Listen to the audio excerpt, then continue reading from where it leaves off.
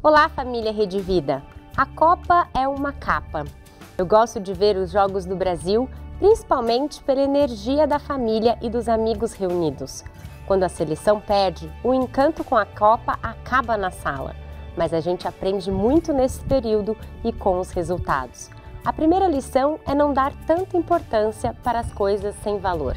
A segunda lição é não ficar culpando os outros e tudo pelas nossas frustrações.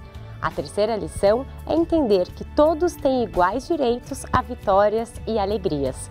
A Copa é uma capa que não serve para cobrir nossas limitações e fragilidades.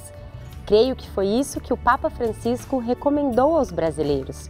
O Papa viu as bandeiras dos torcedores na Praça de São Pedro e disse para ter coragem. Coragem para agir com o coração.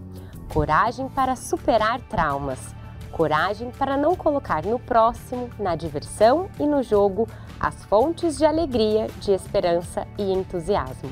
O ano do Laicato é um chamado à coragem que o Papa orientou, a coragem de superar as derrotas e seguir avançando, crescendo e assimilando. Ano do Laicato, sal da terra, luz do mundo. Mariana Monteiro para a Rede Vida. Alegria é estar com você.